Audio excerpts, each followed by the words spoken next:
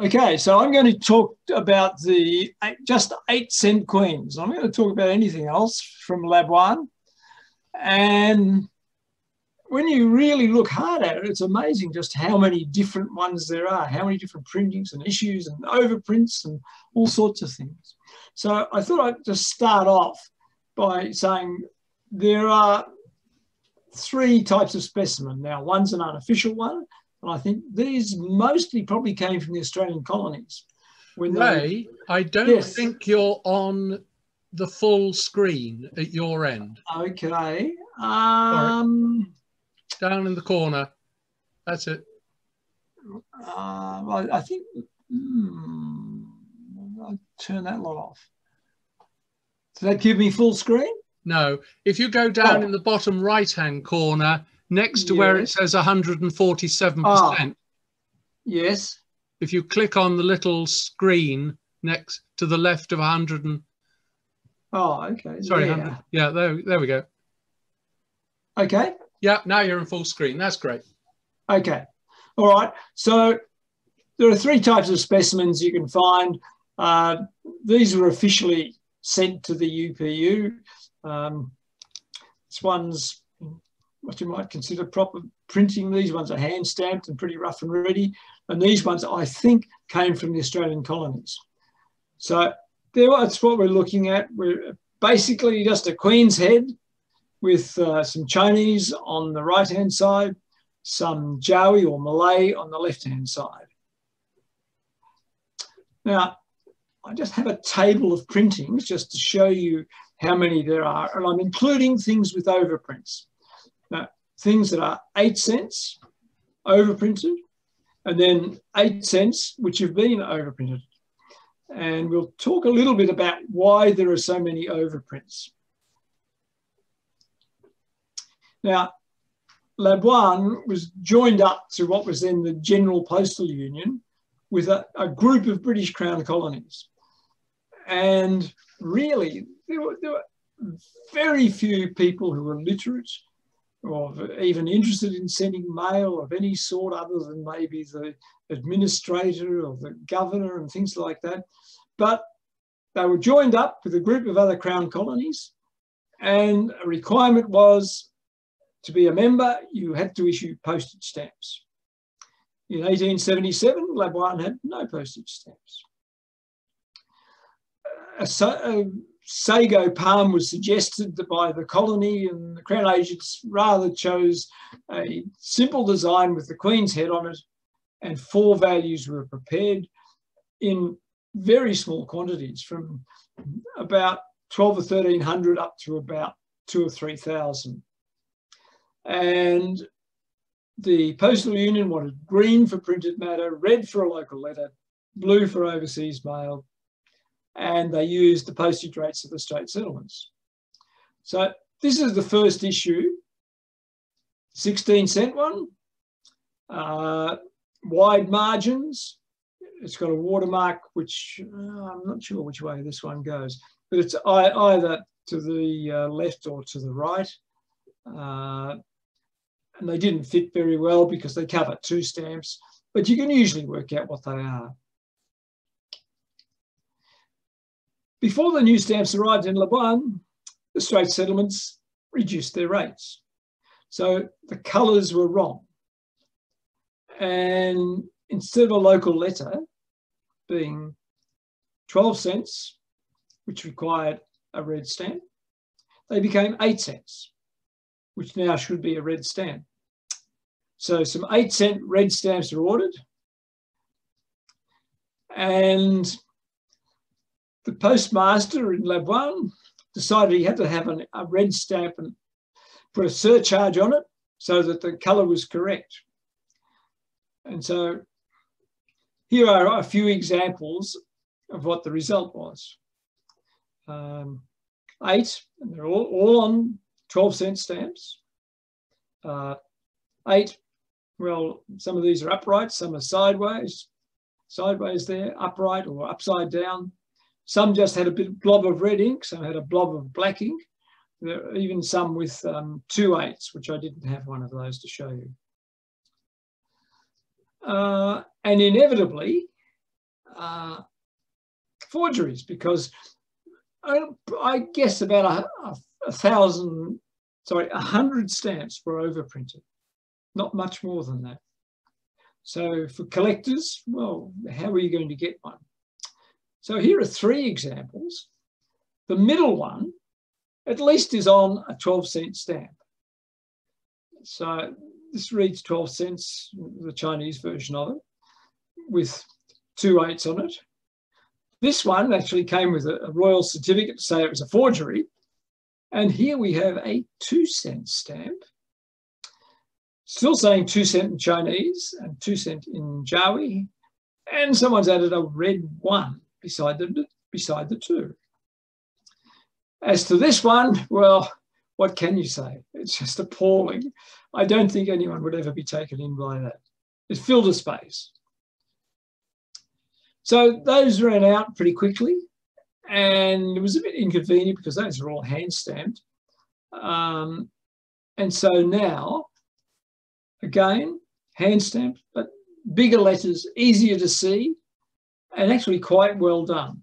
But again, it's probably a couple of hundred stamps, not very many, one complete sheet. And it's again on the 12 cent stamp so that you've got a red eight cent stamp uh, paying the mail to Singapore.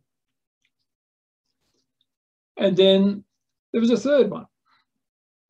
And this time, uh, upper and lower case, uh, done in, well, some are in rows of five at a time. Some are in sheets of 10. I think there are three different printings. At least there might even be a fourth. And they kept using up all the 12 cent stamp, which was really now obsolete, turning them into eight cent stamps so they can use them on their mail to Straits settlements and within the colony. And finally, three years after they first issued a postage stamp, we had an eight cent carmine stamp to send on their ordinary mail. Sheets of 12, Crown Colony watermark. They're often a bit blurred and there's an engraving mistake. And to show you why there are engraving mistakes in these stamps, uh, this is imaginary, but I guess this is something that they began with. We had a die, it had complete except for the inscription in Malay, the inscription in Chinese, and the denomination. And they, all these issues have something like that as its basis. The engraver hand engraved on each image on the plate, the Malay and the Chinese, and the number. And inevitably, the engraver perhaps got a bit sick of doing these, um, fairly fine work, and he's got to do it backwards on the on the plate. Um, and in some of these, on the, on the last stamp on the sheet, the dot was left out. Now, it makes a difference to the pronunciation in Malay. Um, I don't know how much difference it makes to the meaning. Someone might know, but I don't. Right, so here we have the first eight cent red stamp, eight, eight cent carmine. Um, sheet of 12, sorry, 10, sheet of 10 wide margins. These, these are big enough to print another stamp on them. And at some time, I think probably some people did do those sorts of things. A nice little piece of watermark paper. You could do other things with it. Um, and the missing dot is on stamp number 10.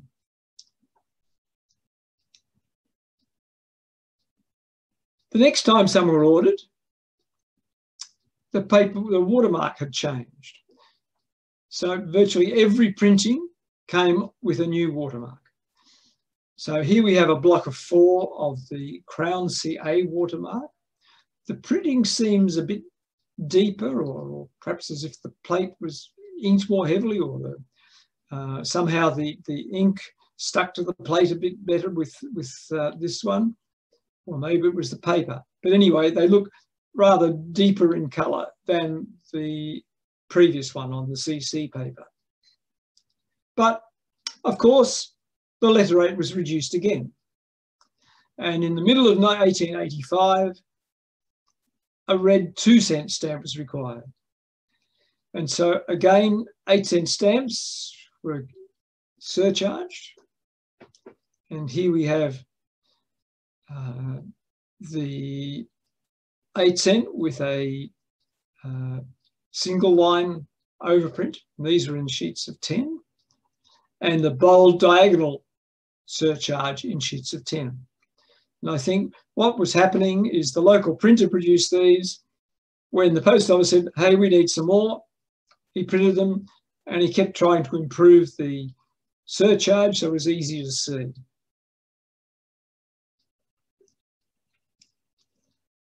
And so now we look at other eight cent stamps because the eight cent, instead of being red for the letter rate, became purple. And the first printing is on Crown CA paper,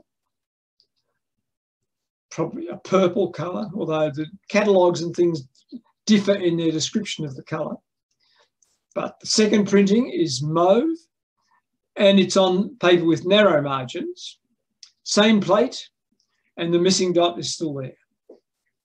So here we have, um, this actually is a bit of a cheat because the, the, margin at the side has been added on somewhere.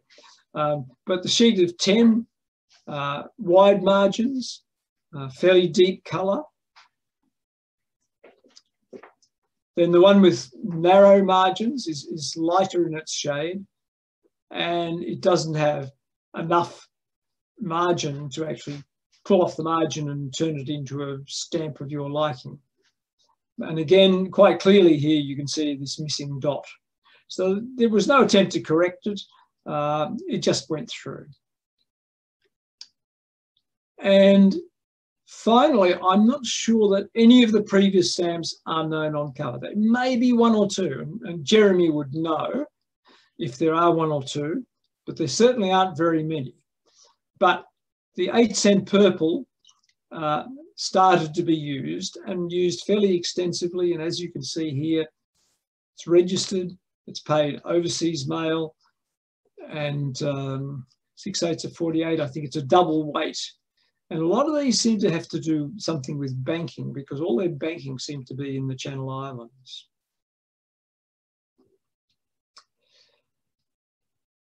Once again, 1891, another postage rate change. For foreign mail or overseas mail, the cost was reduced from 8 cents to 6 cents. There were no 6 cents available, and so the 8 cent issues were surcharged with one of two types of overprint. Here's a complete sheet narrow margins, the second printing of the 8 cent. And there are two, and they were hand stamped, hand surcharges. And this one has one millimeter between the two lines. This one has two millimeters between the two lines. And presumably maybe the post postmaster and a clerk both took turns. One had a this one and the other one had that one, and they could happily produce as many six cent stamps as they needed. However, some funny business started this time. Most of the surcharges are in black, but some are in red. And then there start to be inverted surcharges, double surcharges, missing six, missing cents, and others. Um, sheets with a double surcharge, one inverted on the last stamp of the sheet, which of course has the missing dot as well. And you can see these sort of things turn up in auctions and often at uh, suggested at very uh, high prices for what were probably people trying to play around and make themselves a bit of money. A few sheets of the stamps from the first printing with wide margins were also surcharged. Not very many of them because the first printing by the time these were done were virtually obsolete. There may have been a couple left in the drawer. And so you can see clearly here which one is from the first printing, that's this one. And it's got an upside down surcharge.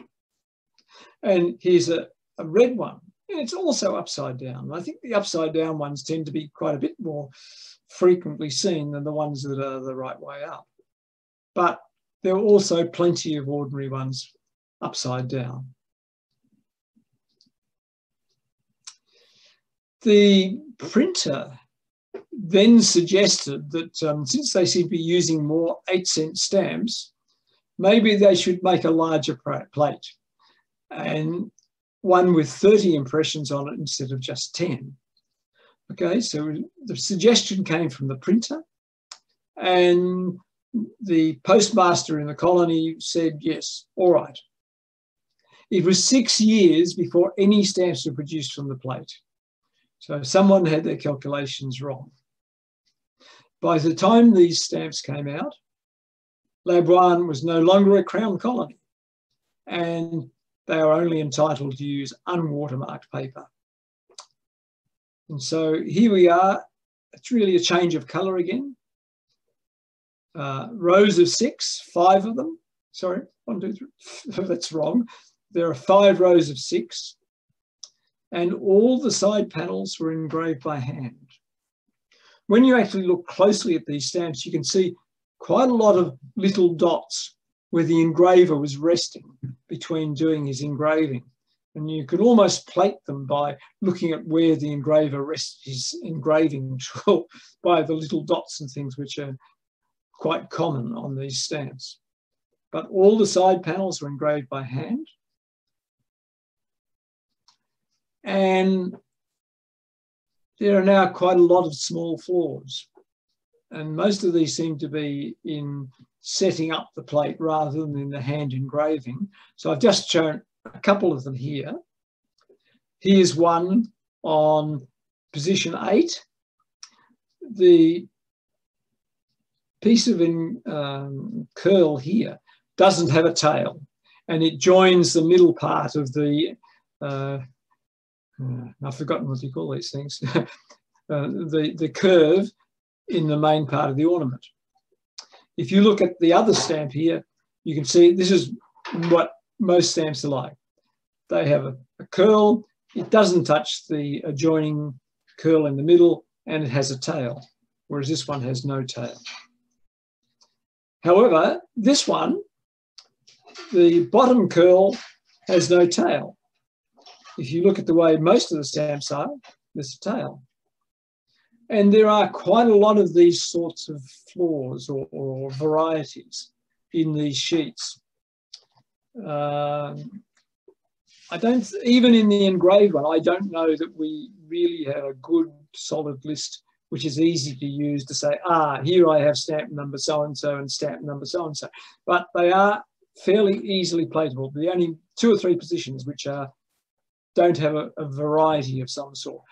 See here, there's a dot which is probably where the engraver just rested his um, um, cutting tool as he had to uh, in hand engrave all these 30 positions on the sheet. Now, the engraved one came out in about 1893 and it was due to be replaced in the middle of 1894 by the uh, fancy pictorials. And yes, some of these engraved ones did get into the post office and have been used. You can find them. There are some on cover, uh, some with used postmarks. However, it was then suggested that they were suddenly making so many eight cent coins, and I think it was about 10,000 were, were printed, uh, that they should produce them by lithography and make lithographic transfers and print with a stone and print 180 stamps at a time. Well, this was done. And in doing that, your small flaws, well, you now had six complete sheets of images on the stone. And the small flaws which are on the engraved plate now appear six times on the lithographic stone. And a whole lot of new varieties appeared uh, including some bad transfers, doubles. Um, some of them have doubled corners and all sorts of things. Now, that's a much more detailed thing, so I'm not going to do any more than that. Just say the sheets of 180 cut into post sheets of 30. Um, it almost certainly would seem that they had philatelic sales in mind. Why else would they be producing 100,000 of these when probably no more than 50,000 eight cent stamps had ever been sold before? And they also knew that within a few months they'd be replaced. Of course, most stamps were cancelled to order, probably in London, and they were sold to the stamp packet trade. So here's, here's the lithographic sheet. There aren't very many of them around. They're quite scarce. Uh, most of them ended up like this and probably separated into singles. So they've got these hand cancelled bars on them in blocks of four. And they were sold to schoolboys.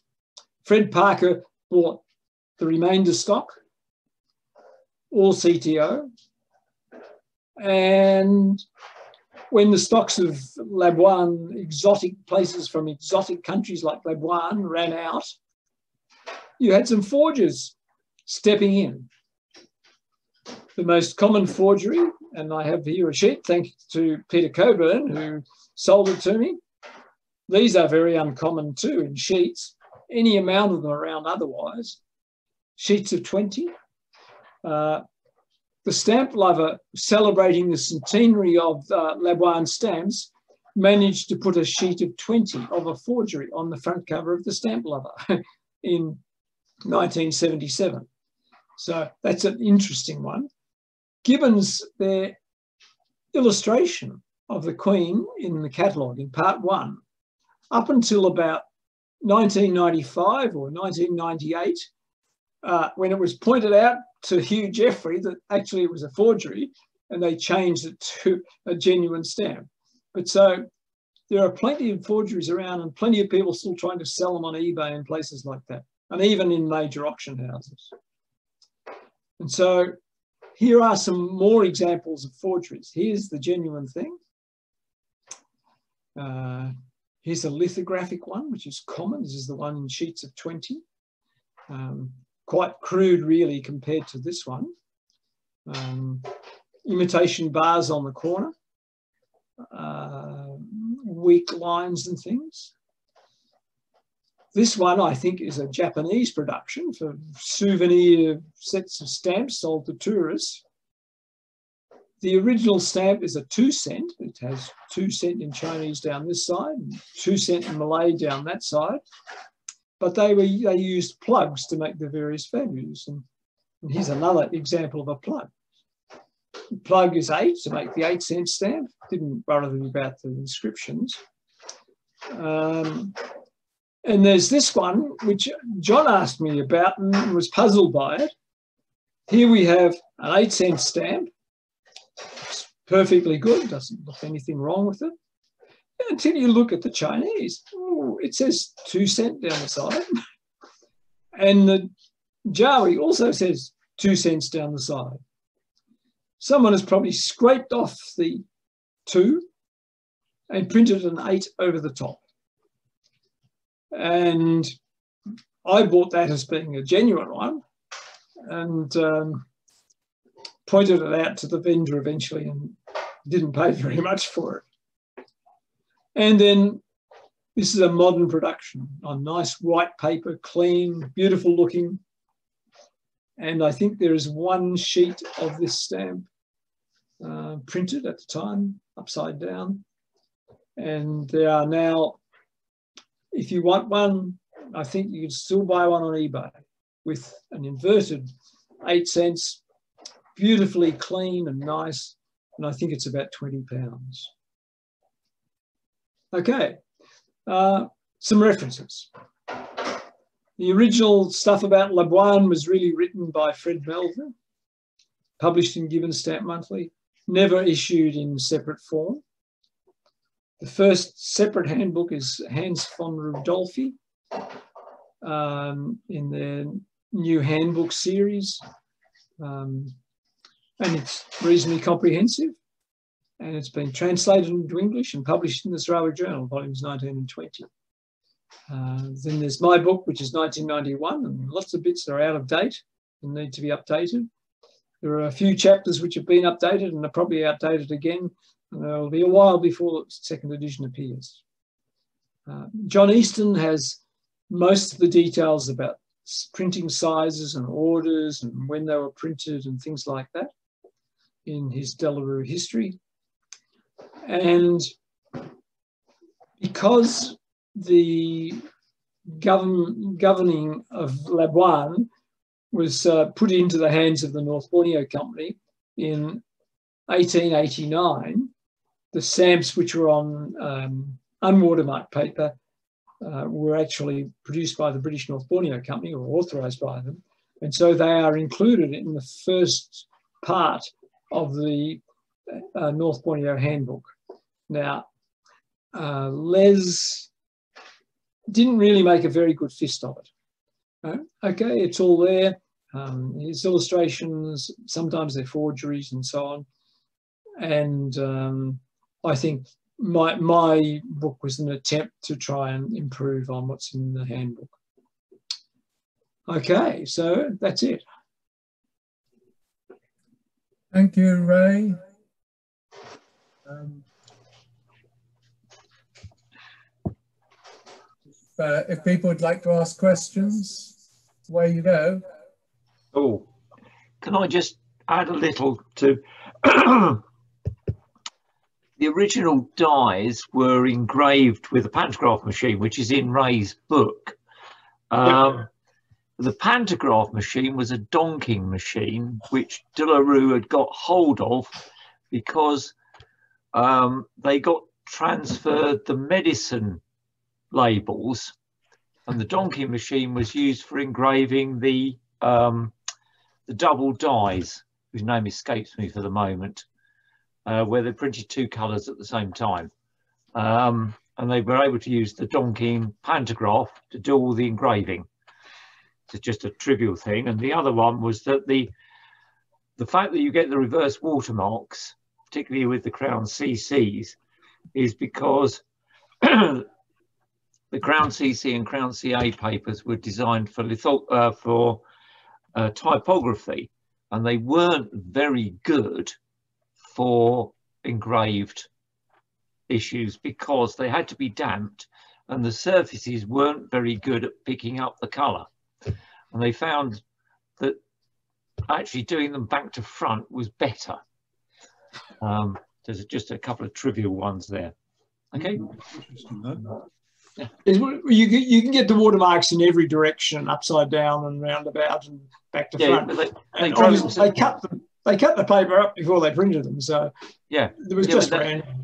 No, I think that's because they had lots of trouble because they had the same problem uh, with the Perkins Bacon plates that they got transferred, that got transferred to them, that they had enormous difficulties formulating the inks properly and actually getting decent transfers onto onto the Crown C, particularly onto Crown CC paper to start with. Uh, so there you go. Ray, your your Campbell cover to uh, Jersey. Can you hear me? Yep, I can hear you.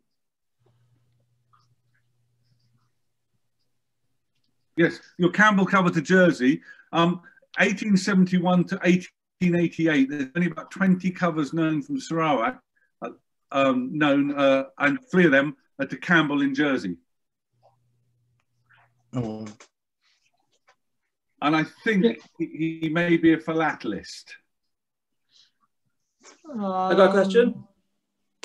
Well, but yes, although you know, double double weight and registered, yeah. I think it had to do something with the banking system because you do get a lot of a lot of the banking transactions seem to be with Jersey. I will find out in half an hour's time because I'm doing my um, rehearsal to the Royal, and Mark Bailey, the IT chairman, is a Jersey Study Circle guy. Oh, okay. And he'll yep. know, and I'll, I'll, let you know. Okay. Yep. A lot of um, civil servants from North Borneo, anyway, retired to Jersey and um, some of the best covers around, um, you know, like Gentian covers and things like that from 1900, are actually addressed to Jersey. So maybe Mr. Campbell had something to do with that. Okay. Right, yes. I think John Higgins had something to show us. Yes, I do. Now, what do I do? Do I share screen? Yes. Um, now I've got to go on to that. Share, I guess. Uh, I want to go on to slideshow. Right, okay. Um, I have to say this is my favourite item. Maybe first of all, Ray, thank you very much indeed. That was an excellent resume of the complicated history of the eight cent. Um, well worth doing because it took a bit of it takes a bit of sorting out. Um, anyway, this is my favourite item. I actually bid for this when I was in Albania.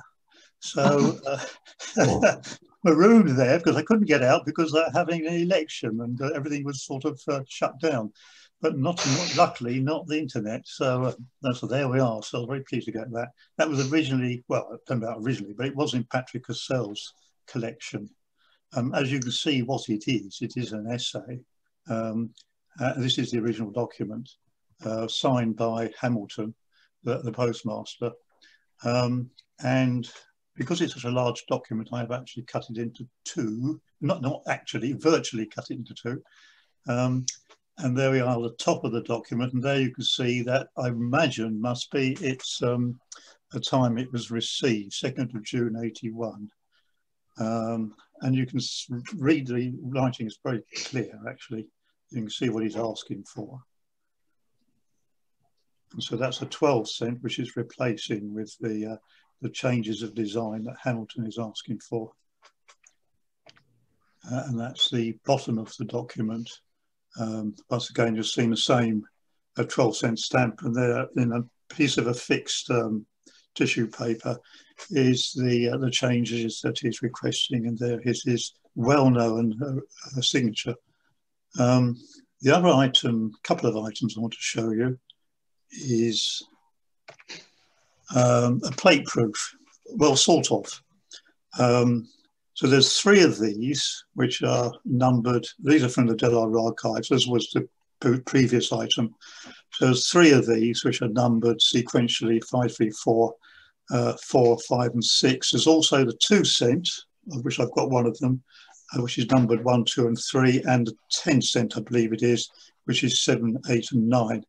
Now, I believe that these were uh, struck uh, when the 10 cent, 10, 10 uh, set plate was retired um, and when it was replaced by the 30 set plate. So it wasn't actually done at the time of the uh, 8 cent being issued or beforehand.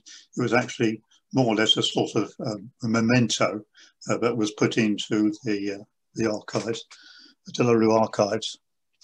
Um, I think you've got the details there of what the uh, what is printed on, etc. Pretty item. Um, and then we have um, 8 cent Carmine on cover. Um, as Ray said, there aren't many of these around. Um, and this may be the earliest known registered cover from Labuan. Um, it's a triple rate on a Majesty's service. So this is still a crown colony, of course. It remained a crown colony even when it was being administered by North Borneo.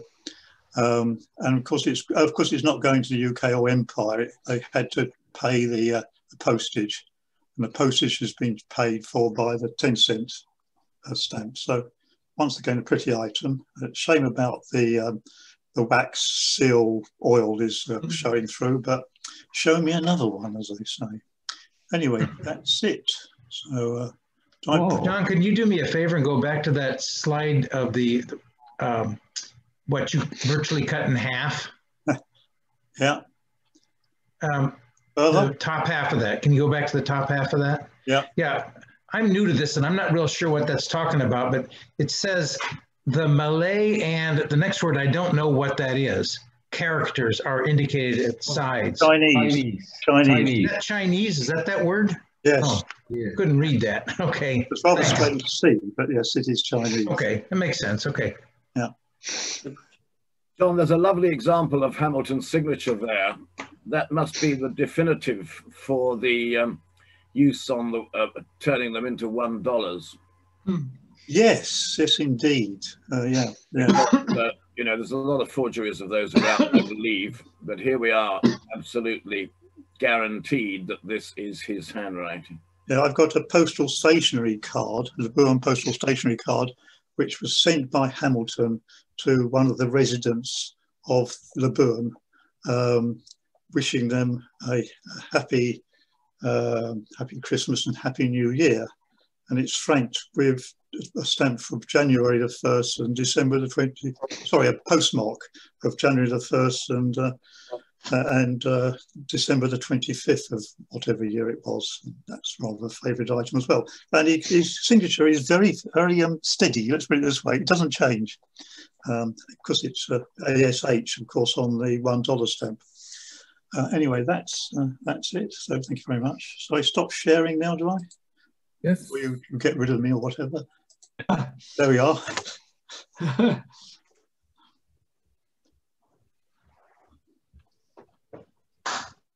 Any more comments from anyone?